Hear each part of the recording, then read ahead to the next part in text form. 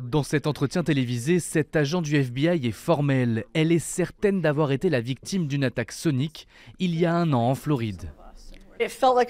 J'avais l'impression d'être coincé dans cet état de désorientation, incapable de fonctionner. Genre, que se passe-t-il? Et tout mon corps palpitait. Comme elle, des dizaines de diplomates du monde entier assurent avoir subi ces troubles. Des migraines, des vertiges, des nausées ou des troubles de la vision.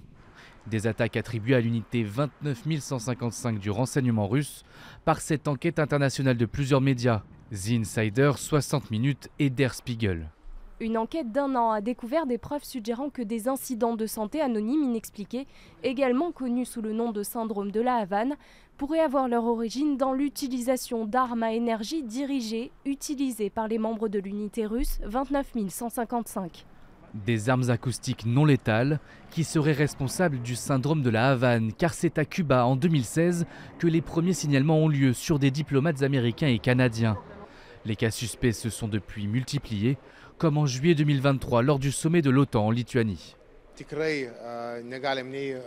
Nous ne pouvons ni confirmer ni infirmer ces informations, mais bien entendu, compte tenu des méthodes opératoires des services de renseignement et de sécurité russes, on ne peut pas dire qu'ils ne peuvent pas utiliser des méthodes similaires. Ils peuvent totalement le faire. Nous examinerons cela plus en détail.